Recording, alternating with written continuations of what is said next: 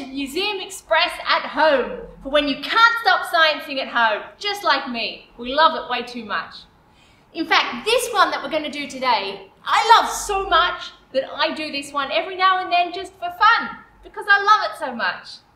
We are going to grow a bean plant today, but what we're going to do is we're going to grow it in a glass so you can see the first root and the first leaves that come out of the seed. It is absolutely fascinating and you're, you're going to want to do this over and over again.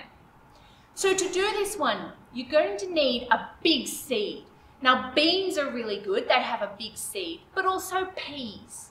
So I found these two in my shed, but if you don't have them at home, you can order them online. Now, these are the peas, what the pea seed looks like. They're pretty big, and the beans are pretty big too. So it's good to have big seeds because then you'll be able to see exactly what's happening as it germinates. We're also going to need a glass, or a pla plastic is fine if you'd rather use plastic, uh, and uh, some paper towel and some water. So rip off a bit of the paper towel and fold it up and dampen it down a bit with the water. Then you're going to take your seed, place it on the damp paper towel, and press it to the side of the glass so you can see it. So the paper towel is holding it to the side of the glass, like that. Now you're going to want to put that in a safe spot where no one's going to knock it over for a couple of days every now and then top it up with a little bit of water just to keep that paper towel damp. And you've got to keep an eye on it because when it starts to germinate, when it, the seed breaks open and the first root comes out, it goes fast. It will change from morning to night. So you're going to have to keep an eye on it at all times of the day.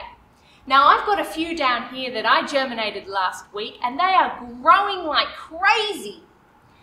When you see that first root come out. That's a very special root, and that's called the radicle.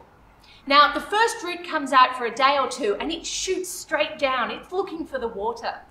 And once it finds some, usually on the paper towel, it will spread out lots of other roots. And you can see these in the beans that I've got here. After a couple of days, you will notice that then there's a little sprout that goes upwards, a little stem that's searching up for the light. Now it's got two leaves on it, and when you see those, they're very special.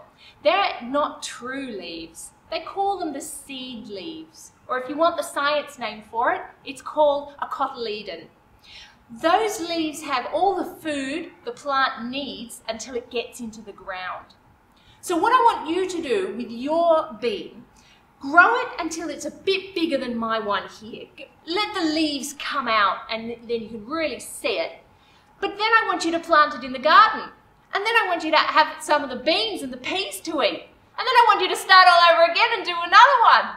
And soon you'll have a full veggie bed full of them. But I tell you what, this one is absolutely fascinating because the roots go so fast. And now you'll be able to know exactly what happens when any plant grows in the garden. All right, make sure you send me photos of your bean seed. Hey, can anyone out there make a time-lapse video of it?